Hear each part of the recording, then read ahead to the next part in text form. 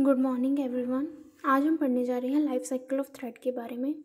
ठीक है, थ्रेड की जो लाइफ साइकिल है उसमें कौन कौन सी कितनी स्टेट्स होती हैं? ठीक है, life cycle of thread in Java is control by JVM. Java virtual machine के द्वारा कंट्रोल किया जाता है लाइफ साइकिल को। ठीक है, इसमें फाइव स्टेट्स होती हैं, new, runnable, running, non runnable, terminated. ठीक है, फाइव स्टेट्स होती हैं। फ़र्स्ट स्टेट होती है न्यू।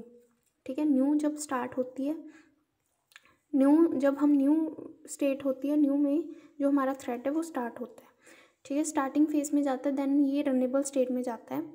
ठीक है रनेबल के बाद, ठीक है रनेबल मतलब अब ये रनिंग क्यों में होता है कि अब इसने रन होना है।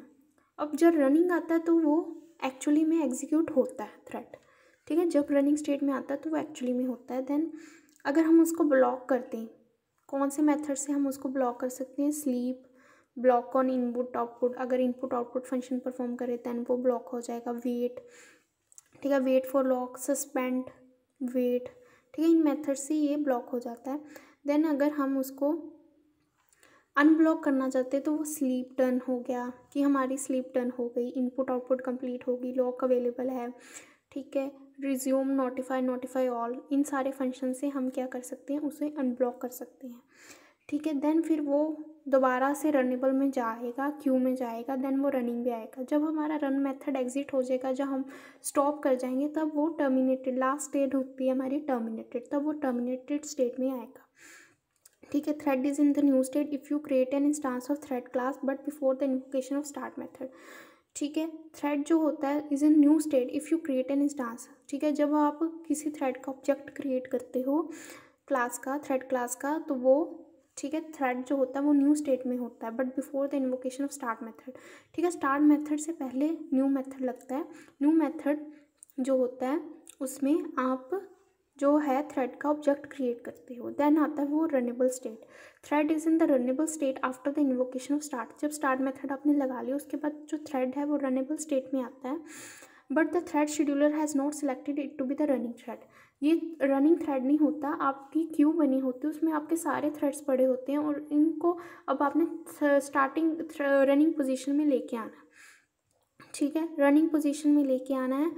ठीक है? जैसे थ्रेड शेड्यूलर जिस हिसाब से शेड्यूल करेगा, आपके प्रायोरिटी बेस पे शेड्यूल करेगा जो आपके टाइम स्लाइसिंग बेस पे करेगा, उस हिसाब से आपको क्या मिलेगा? थ्रेड मिलेगा।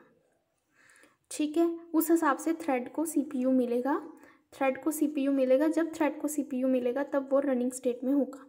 The thread is in the running state if the thread scheduler है सिलेक्टेड थ्रेड जो है रनिंग स्टेट में होगा, अगर थ्रेड शेड्यूलर उसे सिलेक्ट करेगा। ठीक है? नॉन रनेबल होता है ब्लॉक्ड स्टेट ठीक है? नॉन रनेबल होता है block state this is in the state when the thread is still alive but is currently not eligible to run ठीक है नॉन रनेबल होता है ब्लॉक स्टेट अगर आपका थ्रेड जो है वो अलाइव है बट वो रन नहीं कर पा रहा, ठीक है? आपका थ्रेड अलाइव है, ज़िंदा है बट वो रन नहीं कर रहा but is not currently not eligible to run क्योंकि वो ब्लॉक हो चुका है तो वो रनिंग पोजिशन स्टेट में नहीं होता, वो ब्लॉक हो जाता है। देन आता है आपका terminated a thread is in terminated और that state when it's run method exit आपका थ्रेड टर्मिनेटेड हो जाता है डेड स्टेट में चला जाता है जब आप रन मेथड को एग्जिट करते। ठीक है? ओके थैंक यू आज के लिए इतना ही, बाकी हम कल करेंगे।